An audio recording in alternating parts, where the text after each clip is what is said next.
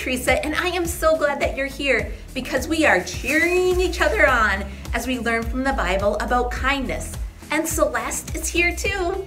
Yay, Celeste! Yay, you! Yay, Teresa! I'm Celeste, and we are cheering each other on because all month long we're talking about kindness. Kindness is showing others that they are valuable by how we treat them. And I have to tell you, Haley is coming on here next and she is ready to cheer. So let's go.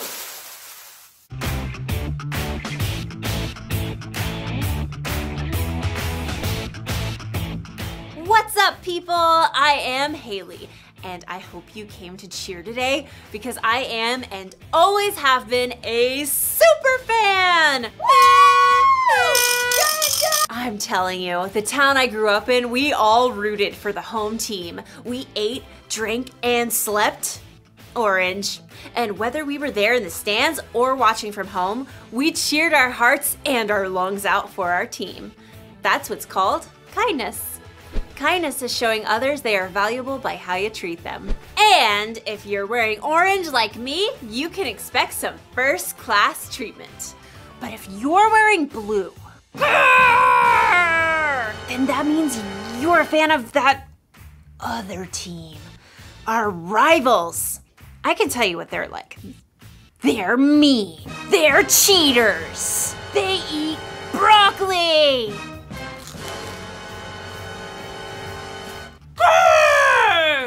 They're pretty scary. I've actually never met one in person, but that's what I've heard. I am not a fan. Not a fan. You know, if I saw someone on that blue team lying on the side of the road, you know what I'd do? I, I, I'm actually not sure what I would do. I'm not, I'm not sure.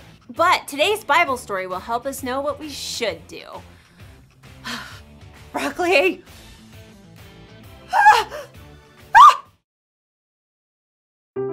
The Bible.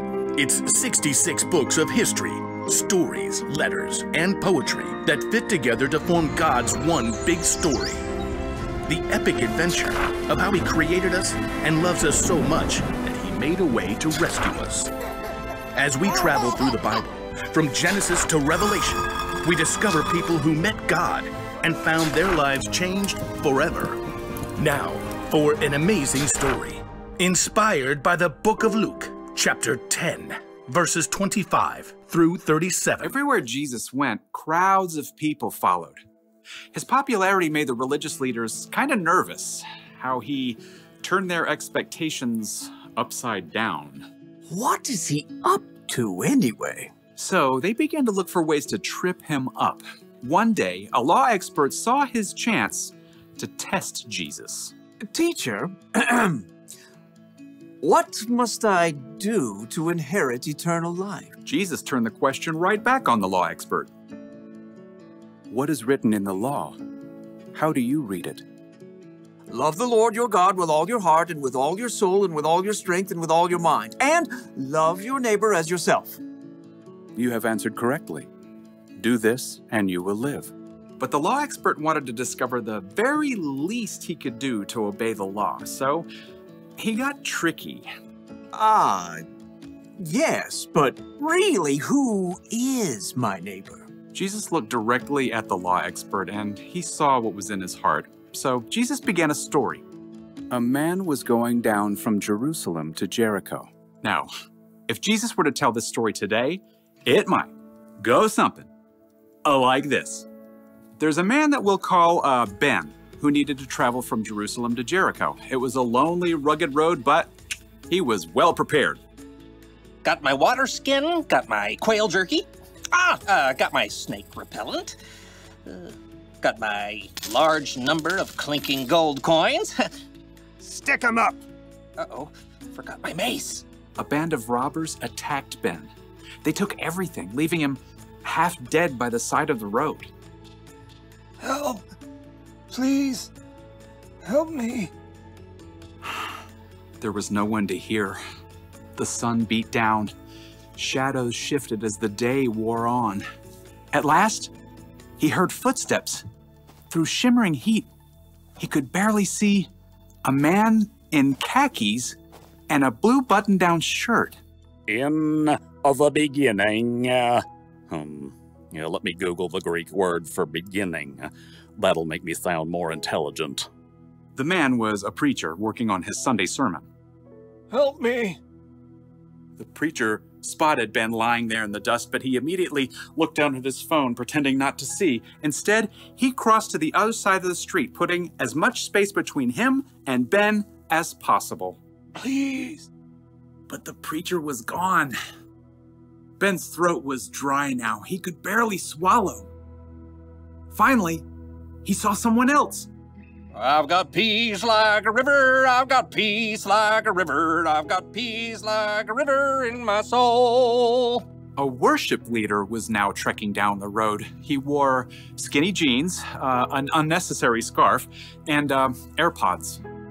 Help. Help me. Well, the worship leader definitely saw Ben, but he cranked up the volume on his AirPods and shimmied to the other side of the road as he passed. I've got peace like a river, I've got peace like a river, river, I'm gonna run away. As the man's voice faded away, Ben was left in despair. Shadows lengthened as evening approached. Once again, Ben heard someone coming. Turning his head, he could just barely make out a donkey. Perhaps he could tell from the way the person was dressed that this person wasn't a Jew. He was a Samaritan. Oh no.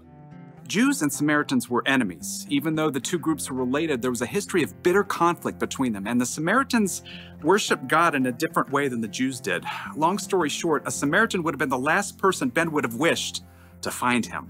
What's that by the road? Instead of ignoring Ben, though, the Samaritan man slowed down and got off his donkey. Oh no, who did this? The Samaritan quickly rummaged for supplies in his bag.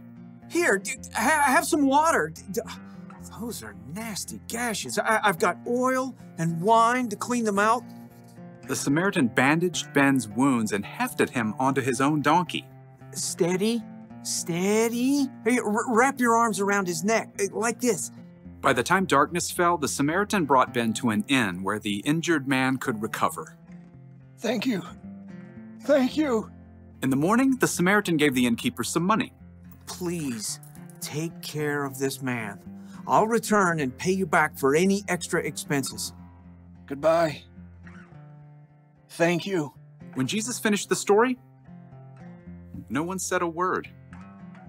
He looked directly at the law expert. Which of these three do you think was a neighbor to the man who fell into the hands of robbers? The law expert fidgeted. To admit that the Samaritan had acted as a true neighbor was to say that everyone is a neighbor, no matter how different they may be. I suppose in this case, one would have to say the man who had mercy on him. Go and do likewise. Jesus' story was clear. Love your neighbor as yourself isn't limited to just the people in your neighborhood. Your neighbor means anyone who needs you to show them God's love.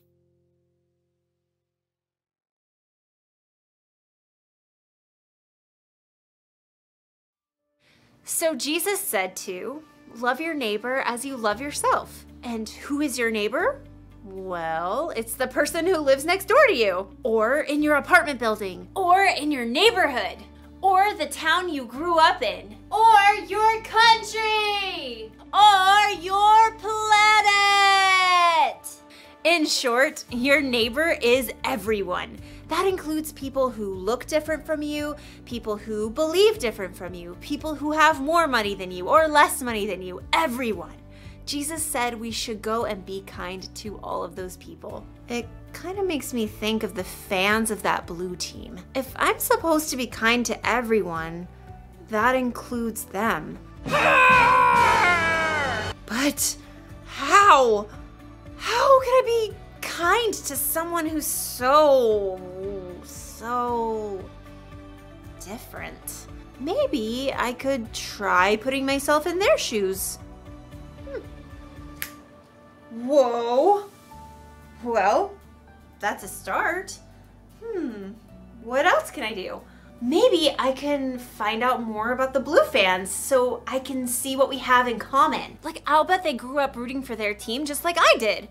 I'll bet they cheered their hearts and their lungs out. And I bet they ate, drank, and slept blue too. Maybe we're more alike than we think. Or maybe we're just different. And that's okay. In fact, it's incredible to know that there are billions of people with all kinds of differences all over the world. So here's the one thing for us to remember today be kind to people who are different from you. Don't just think about what you'd want or need, put yourself in their jerseys and think about what they'd want or need. It really is possible to be kind to everyone. You know, I hate to admit it, but I look good in this color. And another thing, broccoli? it's really not that bad. Bye, super fans! Mmm.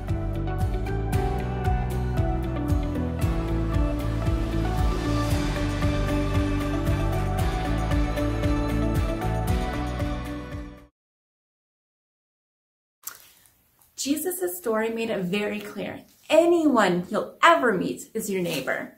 You shouldn't just show kindness to people who are like us. You should show kindness to everyone we meet. And when you follow Jesus' example, you can't help but want to show kindness. Like it says in Colossians 3.12, you are God's chosen people. You are holy and dearly loved. So put on tender mercy and kindness as if they were your clothes. Don't be proud, be gentle and patient. We've got a song for this one.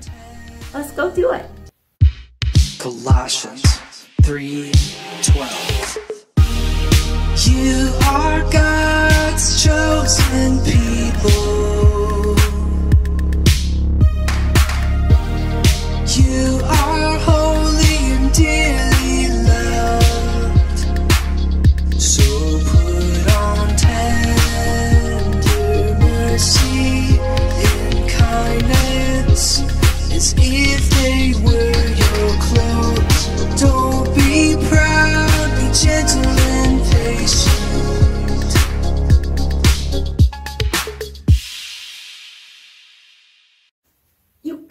great job! And that verse reminds me of the bottom line from our story today.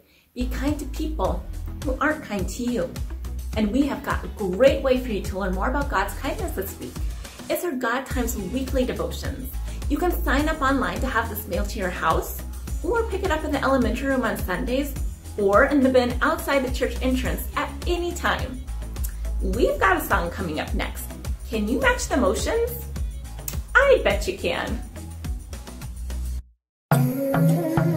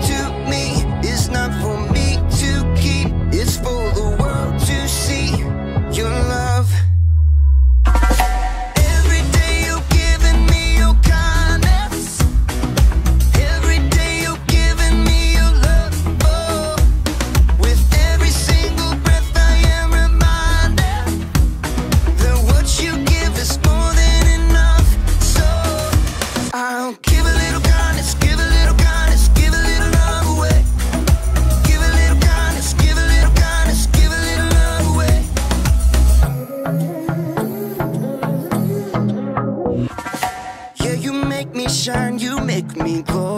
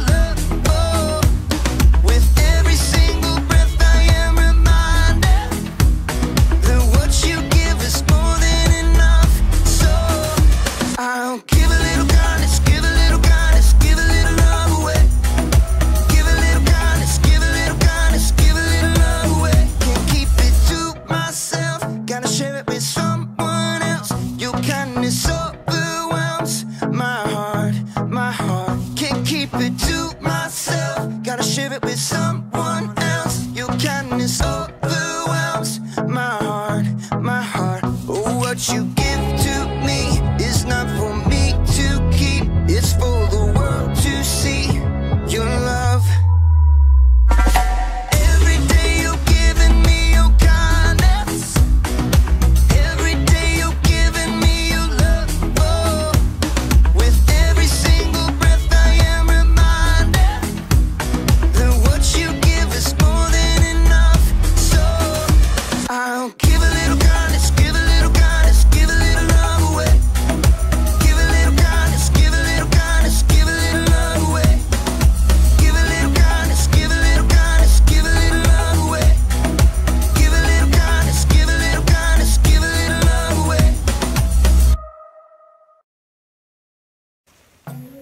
remember this week be kind to people who aren't kind to you. I know you can do it. Bye.